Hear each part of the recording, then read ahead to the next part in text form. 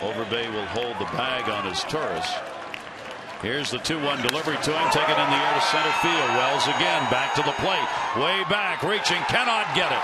It'll roll to the wall. One run is in. Izturis coming around to score a two RBI double for Brian Roberts and a 7 2 lead.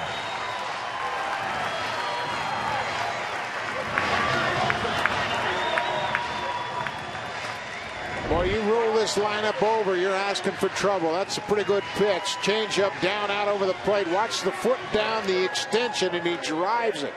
Great follow through as he had balance, and again another ball hit over Vernon Wells' head. And here comes Izturis scoring all the way from first base. A two run double for Brian Roberts.